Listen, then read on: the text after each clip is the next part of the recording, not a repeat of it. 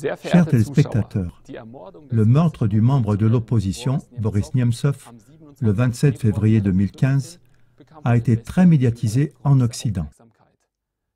Le tumulte médiatique et l'appel à l'éclaircissement de la part de la sphère politique ont donné l'apparence que les médias occidentaux procèdent de façon critique et que nos politiciens éminents se mobilisent pour éclaircir de tels crimes.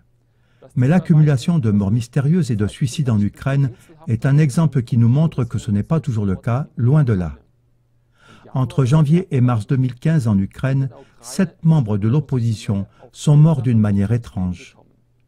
Ils appartenaient tous au parti de l'ancien président Viktor Yanukovych.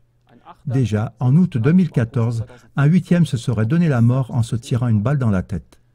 De plus, en avril 2015, deux personnes ont été assassinées, dont un journaliste pro-russe et un ancien député parlementaire du parti de Yanukovych. En outre, l'accident mortel du fils de l'ex-président Yanukovych, fin mars, semble plutôt étrange. Ces prétendus suicides et accidents sont quasiment passés sous silence par la politique et les médias.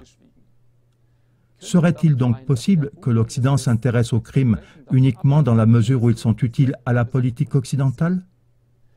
Alors que l'assassinat de Nemtsov allait dans le sens de la politique occidentale concernant la Russie, il était reproché à Poutine, les rapports médiatiques sur la série des morts dans les rangs de l'opposition auraient été plutôt dommageables pour la réputation du gouvernement ukrainien.